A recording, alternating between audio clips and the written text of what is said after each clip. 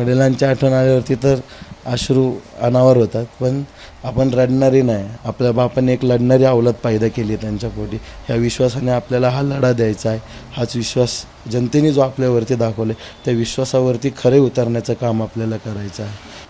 सोनेरी आमदार आणि मनसेचे पहिले आमदार अशी ओळख असलेले रमेश वांजळे यांच्या मुलालाच म्हणजेच मयुरेश वांजळे यांना बारा वर्षांनी मनसेकडनं खडकवासला मतदारसंघातनं उमेदवारी मिळाली आहे आणि हीच उमेदवारीची घोषणा झाल्यानंतर ते कसे निवडणुकीला सामोरं जाणार आहेत आणि त्यांचा हा सगळा प्रवास कसा असणार आहेत हे आपण त्यांच्याचकडनं जाणून घेणार आहोत. पेहराव रमेश दादांसारखा दिसतोय. काम त्यांच्यासारखं करणार असल्याचं तुम्ही काही वेळापूर्वी सांगितलं. पण पुढे जाताना निवडणुकीला किंवा आता उमेदवारी जाहीर झाली आहे काय नेमक्या भावना आहेत? एक तुकाराम महाराजांचा खूप सुंदर अभंग आहे. पुढे गेले शोधित मार्ग तयाचा चला जाऊ मागं घेता मी. वंदू रज सेव उष्टवा पूर्वकर्माची होळी करून या. अमुपे गाठी बांधू बांडवल्या अनाथा विठ्ठल आमाजोगा अवघे होतीला बेका चिंतन नामस्कीर्तने गोविंदाच्या. जन्मा मरणाच्या खुंटील खोपा होईल असोपा सिद्धपंत. तुका मने घालू जीवपणाची रा. जाऊ त्या मोराने जायचे मी ह्या अभंगाचा वारंवार उपयोग करतो. ह्या अभंगाला मी माझ्यामध्ये ओढून घेतलेला आहे. अशा पद्धतीने की जो मार्ग मला माझ्या भाऊंनी दाखवला जो मार्ग माझ्या माननीय राजसाहेब ठाकरेंनी मला दाखवला त्यावरती मी चालत राहणार आहे ज्याच्याने माझ्या जनतेचा विकास होणं हे निश्चित आहे. वडिलांसारखंच तुम्ही सगळ्या जनतेच्या सेवेत पुन्हा उतरणार. बारा वर्षांनी वांजळींच्या घरात उमेदवार मिळाला आहे मनसेला. आई राष्ट्रवादीकडे आहे बहीण राष्ट्रवादीकडे आहे. त्यांची पहिली प्रतिक्रिया काय होती? तुम्हाला उमेदवारी मनसेकडनं मिळाल्यानं. नक्कीच त्यांना देखील अश्रू अनावर झाले. शेवटी कसं असतं आपल्या घरातलं मुलगा जेव्हा कष्ट करतो पोरगा कष्ट करत असतं आणि त्याला त्या कष्टाचं यश त्या यशाचं फळ मिळू देऊ लागतं. त्यावेळेस घरातल्यांना आनंद हा निश्चितच होतो.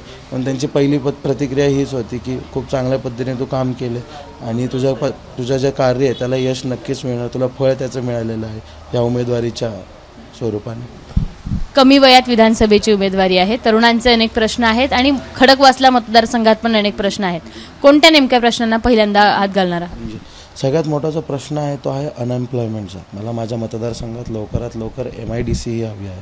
कारण सगळ्यात मोठा जर तुम्ही चंग बघितला यंगस्टर्सचा माझ्या खडकवासला विधानसभा मतदारसंघामध्ये खूप जास्त प्रमाणात आहे की जो आज चाकण कुठंतरी हिंजवडीला आय टी पार्कमध्ये चाकणला एम आय डी सी त्यांना जाऊन कुठंतरी उदरनिर्वाहनासाठी त्यांना तिथं जावं लागतं इतक्याला तर त्यांचा तो प्रश्न कायमचा मार्गी लावण्यासाठी आणि येणाऱ्या पिढीच्या सर्व युवकांसाठी ह्याच ठिकाणी काहीतरी चांगल्या संधी उपलब्ध असाव्या अशा हिशोबाने मला इथं लवकरात लवकर पहिले एम आय डी सीचे काम काम सुरू करायचं आहे.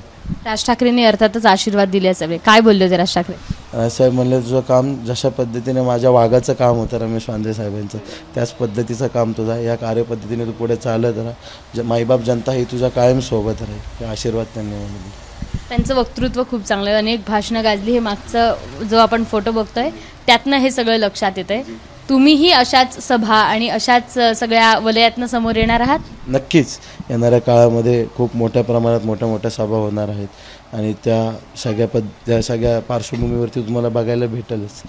पुढे राज ठाकरेंनी काही सांगितले का? सभेला येणार किंवा इथे सभा घेणार? आता ते सगळं बैठकीत जेव्हा बसूयात आम्ही पुढच्या डिसिजन मेकिंगसाठी रोडमॅप तर तयारच आहे बट अजून डेट्स बाकीच्या गोष्टी फायनल करायच्या राहिल्या. राजसाहेब येतील नक्की हा विश्वास आहे मला आज वडिलांना जाऊन एवढे वर्ष झाले. वडिलांची आठवण आल्यावर काय नेमकी गोष्ट पहिल्यांदा आठवत?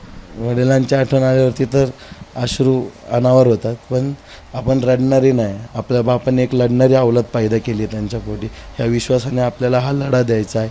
हाच विश्वास जनतेने जो आपल्यावरती दाखवले त्या विश्वासावरती खरे उतरण्याचं काम आपल्याला करायचं आहे. अश्रू मी माझे दाबून ठेवलेले आहेत. आता त्याच दिवशी रडणार ज्या दिवशी जिंकणार. अर्थात तुम्हाला शुभेच्छा. त्यांचं सगळा पेहराव बघितला तर अर्थात सोन्याची चेन मो भली मोठी सोन्याची चेन वडिलांचा फोटो असं लॉकेट असलेला सगळा पेहराव घेऊन ते तरुणांचे अनेक प्रश्न घेऊन खडकवासला मतदारसंघात उतरणार आहेत आणि अर्थातच विधानसभेच्या रिंगणात देखील उतरायला ते तयार झाले आहेत. कॅमेरामन राजेश बिडकरसह शिवानी पांढरे एबीपी माझा पुणे. एबीपी माझा. उघडा डोळे बघा नीट.